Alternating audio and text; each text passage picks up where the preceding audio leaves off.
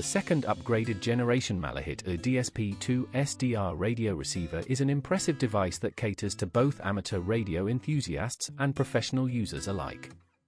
This compact receiver covers a wide frequency range from 10 kHz to 2 GHz, making it versatile for various applications, including shortwave listening, aviation, and even ham radio. One of the standout features of the Malahit A DSP-2 is its built-in 5000 mAh battery, providing ample power for extended listening sessions without the hassle of finding an outlet. The battery life is commendably long, allowing users to explore different frequencies for hours on end. The inclusion of a rechargeable lithium battery is a thoughtful addition, enhancing its portability and usability. The receiver's DSP, digital signal processing, capabilities significantly improve audio clarity, effectively filtering out noise and allowing for a more enjoyable listening experience.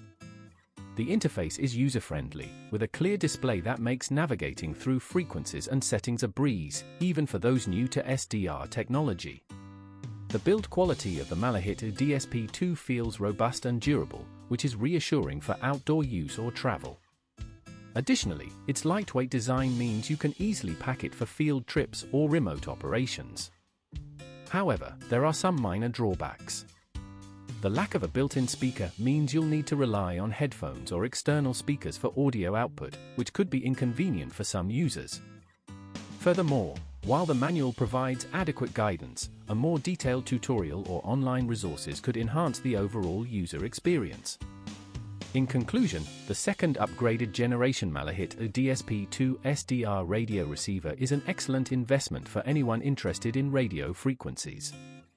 Its extensive range, solid battery life, and DSP capabilities make it a top choice for both casual listeners and serious hobbyists. Highly recommended.